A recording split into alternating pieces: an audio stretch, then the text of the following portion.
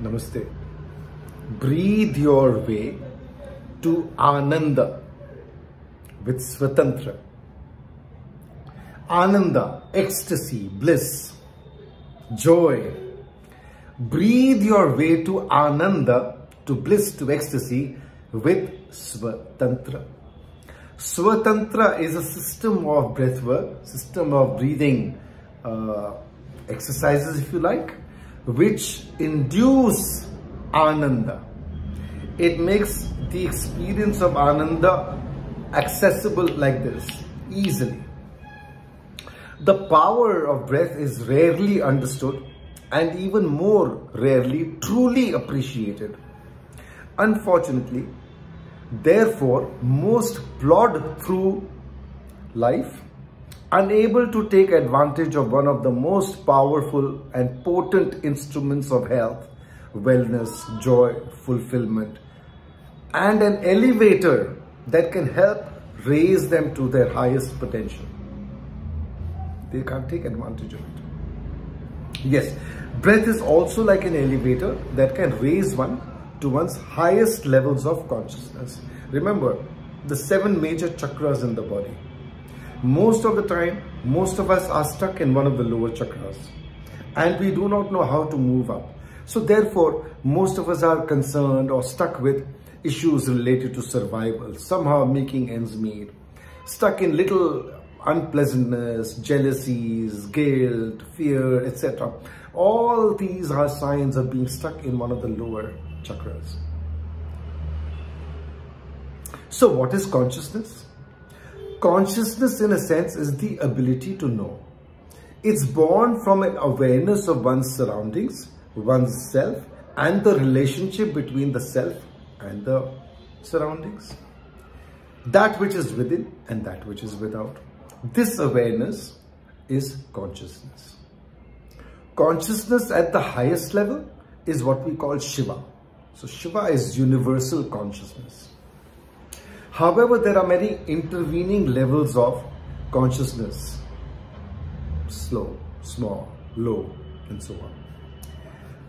In one of the uh, articles uh, by one of the scientific journals, etc., there is a description of consciousness and I've added that in the uh, descriptions here. So uh, I will not read it here. I will not talk about it here, but you will be able to access it. But suffice it to say that they talk of different levels of consciousness and so on.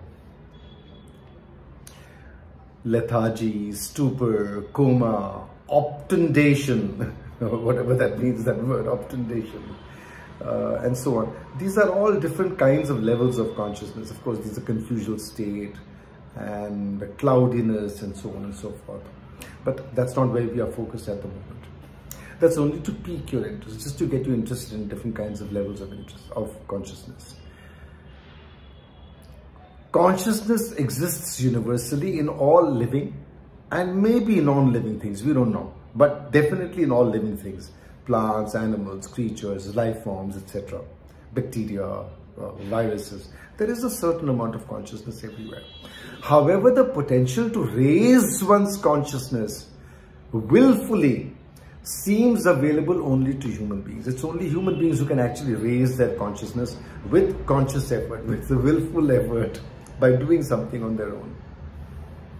Interestingly, this, the estimated seven major and actually 114 chakras in all, according to our rishis, saints, those who really understand this, there are 114 chakras in all. They represent different levels of consciousness. Think of them as hard drives in a computer. Think of them as hard drives. Luckily for humans, they have they have been built into the system. The seven levels of chakra, Mooladhara, uh, Swadhisthana, Manipura, Anahata, Vishuddhi, Agya, Sahasra, different levels of consciousness, they're available to us within our system if we are able to access them, just like the hard drives in a computer. Think of them as hard drives. Luckily for humans, they have been built into the system by nature, life, God, maker, whatever you wish to call it. Each time we access a higher chakra, we have potentially raised our consciousness. However, even when we raise our consciousness, there is no guarantee to stay there because we get caught up in different things, different emotions, different feelings and karmic connections and so on that pulls us back down.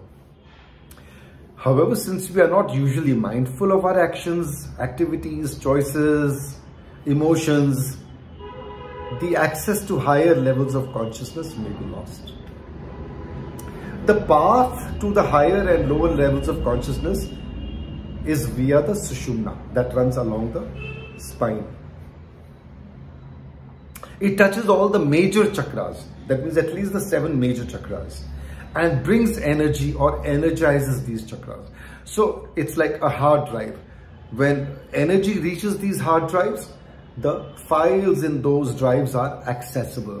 When the, when the files open, we, whatever is there comes to the surface. In our case, there are there can be karmic memory, there can be emotions, desires, all kinds of earlier energy that's stored in, in these areas and they need to be dealt with. And how do they need to be dealt with? They need to be dealt with through conscious effort. When this comes up, we need to bring our attention to them work on them, work with them so that the main lessons, important aspects are internalized and then we can actually delete these files or these hard drives. Not the hard drives, but the files. The path to higher and lower levels of consciousness through the Sushumna.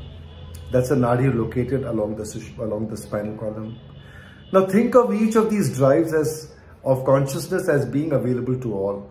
To access them, one must create conditions in the Sushumna so that the movement of energy or Shakti is easy, unhindered and smooth. Past memories, karmic energy comprising of all that we have desired, done, wished for, etc. is stored in these chakras.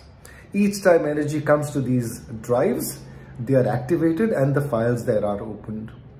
Once these files are opened, we need to process them. If we keep them, they will continue to drain energy. They will continue to bring us back to those things and ask for your repeated attention. So ideally, we should understand what these files are, why we stored them, what we need to glean from them, learn from them, and then delete them. When we learned our lessons, they automatically get deleted. But sometimes it could need a few repeated, repeated uh, looks experiences.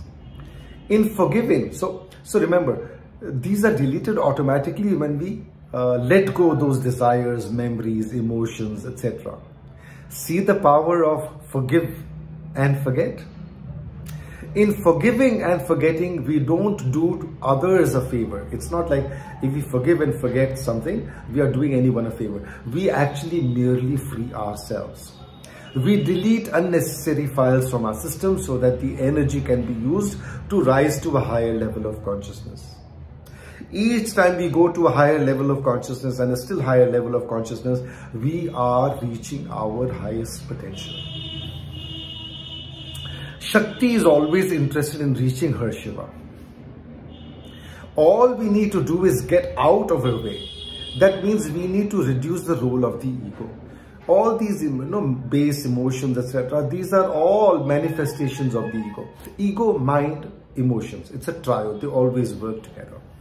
So all we need to do is get out of the way. That means we need to reduce the role of the ego, which is basically a low level consciousness. Simple. As we continue with the process of reducing the role of the lower levels of consciousness and conserving our energy, it becomes available in greater quantity, ease and intensity to move higher. In essence, that's what a human being needs to do, to move higher towards his highest potential. Breath, which brings and distributes energy throughout the system via the major chakras, can be used as the most powerful way to cleanse the Sushumna, widen it, and help it move, help it move energy up the Sushumna, up the, towards the highest chakras.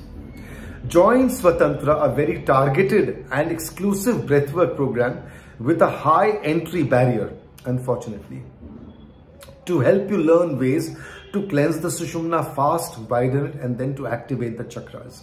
In the process, you will learn how to access and enhance your sexual energy and then to transform it into something much more creative as it rises to higher chakras.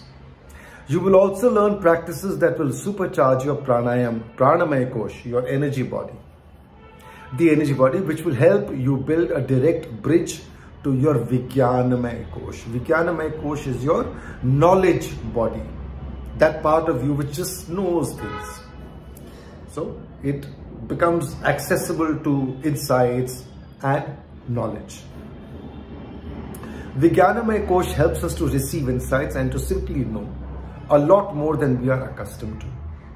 The next step to Anandamaya Kosh will also come within your grasp within weeks. At least you will begin to see glimpses of it and experience it relatively easily. To experience Ananda at will is probably the highest goal of human endeavor. And this is what becomes accessible to you through the Swatantra course. Do join and take advantage. Namaste.